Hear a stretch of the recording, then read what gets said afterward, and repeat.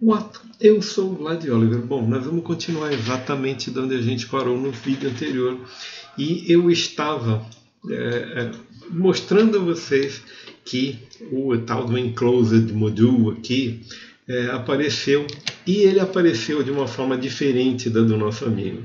Porque o nosso amigo acabou ficando desesperado e ele simplesmente detonou a parte do vidro aqui porque ele não queria ver, etc, etc, etc. Bem, vejam o seguinte, a gente não precisa ser tão radical, ok? Aí ele teve problemas como eu tive. A mesh norm are invalid, some values are not new and will be recomputed, etc, etc, etc. Bom, uma das coisas que ele fala e que eu acho que seria importante a gente fazer seria o seguinte. Eu vou dar um enclosed, enclosed uh, underscore matglass, ok? Para a gente saber que esse matglass tem a ver com o vejam só, Matt Grass e aqui Matt Gray. Né? É, e nós vamos, do mesmo jeito, renomear esse aqui como Control Enclosed underscore Matt Gray. Por que, que eu vou fazer isso? Pelo seguinte, na verdade é o seguinte, é, quando eu chamei isso aqui de Matt Gray, eu deveria até ser chamado de M. É, poderia ser M é, traço é, Enclosed Enclosed Matt Gray, por exemplo. É, porque isso aqui é, tem a ver com o ou texture, T, alguma coisa assim. Isso aqui vai ter a ver com o seguinte: na hora que a gente der a saída, é, eu preciso identificar de onde que é esse material, porque eu posso ter um material gray espalhado por todo, todo o meu laboratório. Ok? Então, isso, este material gray está relacionado a esse enclosed. ok? Então, o ideal seria, ele até faz o seguinte, ele chama de enclosed module, não sei das quantas, não sei das quantas, porque ele diz, quando a gente exportar os mapas, ele já tem um nome é, que, que não atrapalha a nossa vida. Bom, a outra coisa diz respeito a isso aqui, deixa eu ver, visualizações 3D, 2D, a gente pode ter o 3D Only, ok?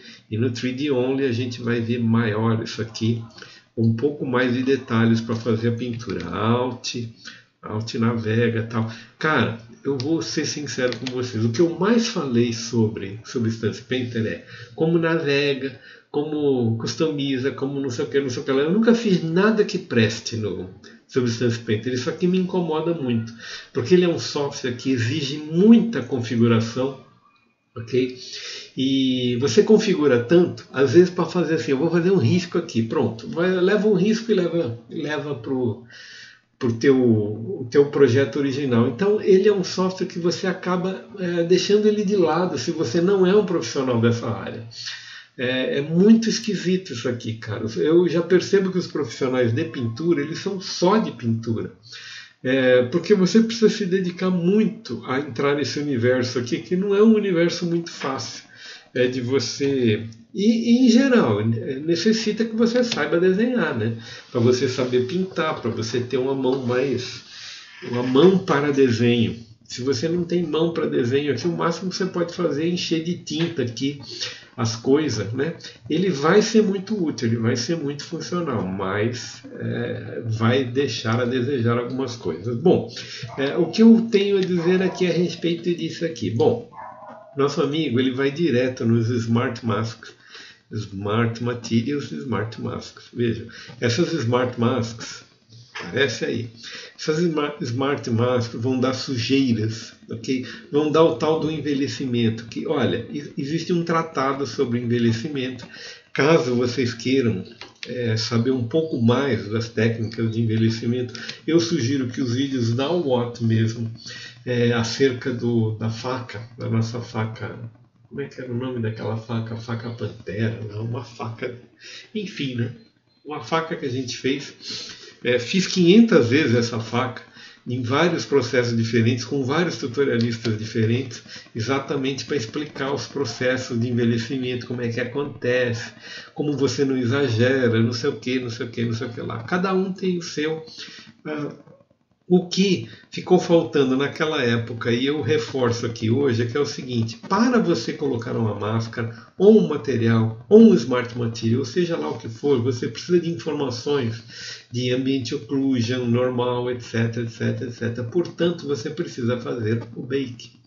Aqui está, então lá vamos nós para fazer o bake desse troço. Veja, aqui, é, se você vem aqui, ele tem uma série de texturas, veja, Base Color, Height, Roughness, Metallic, Normal. Isso aqui é basicamente o que ele tem, combinadas, Normal Mix, etc, etc, etc. Aí ele vem Normal Map, World Space, blá, blá, blá.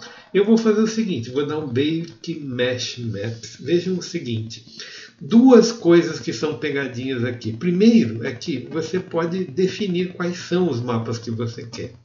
Pode ser que você não queira mapa de ID ou sei lá, não sei o que. Esses mapas que tem, então vejam, High Definition Map List Empty. Veja, não tem um, ele não pode dar um mapa de ID porque ele não sabe quais são as IDs.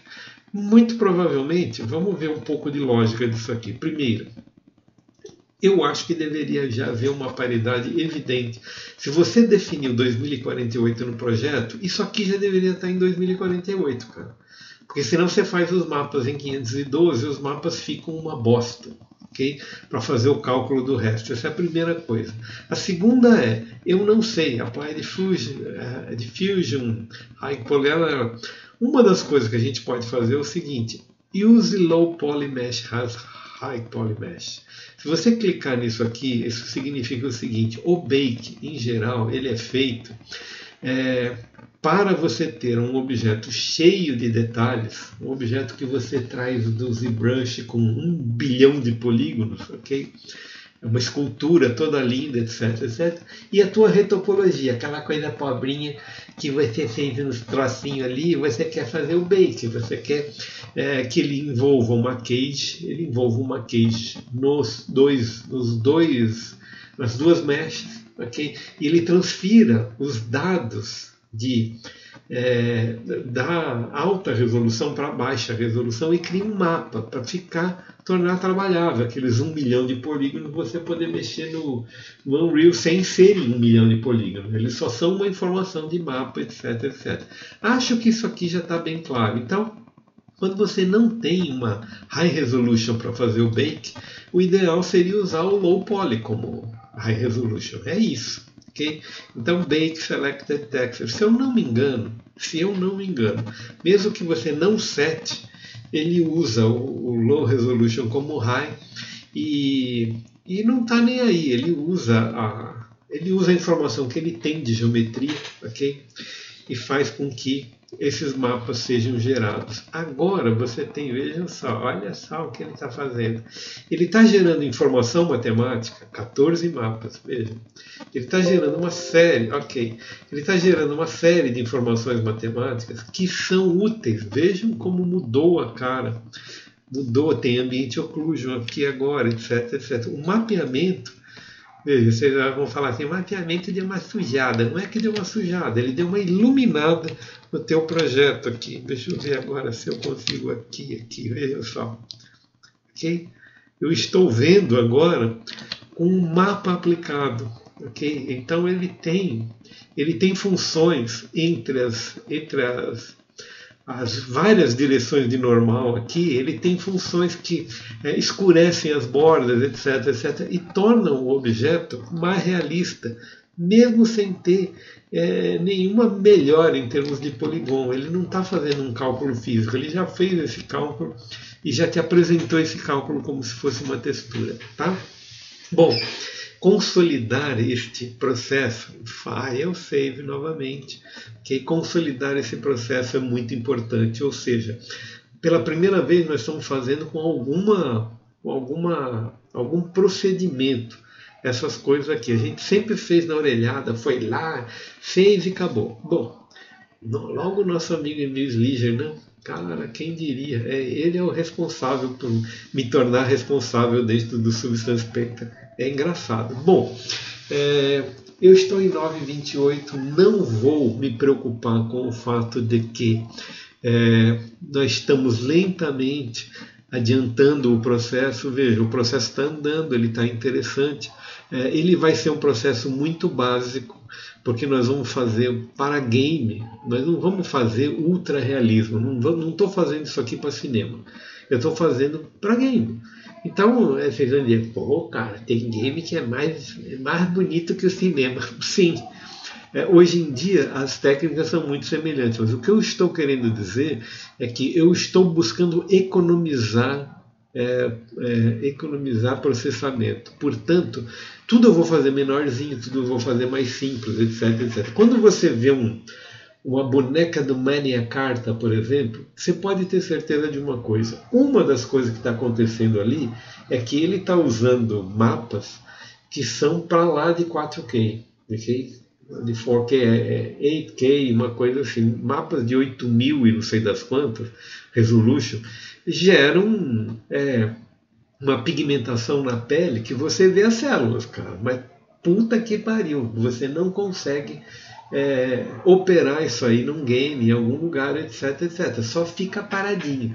Por isso essas pessoas vão para fotografia. Você nunca viu uma boneca daquelas animada, falando, se mexendo, enfim. Sempre é uma versão mais barata, uma versão com menos textura, porque você não consegue. Então, a Trice, por exemplo, eu já estou programando-a para ter duas versões: uma versão ultra realista que é para cinema, e uma versão para os nossos trabalhinhos domésticos aqui, ok? Bom, 11h22 por enquanto é isso aí, nos vemos no próximo vídeo, estamos progredindo.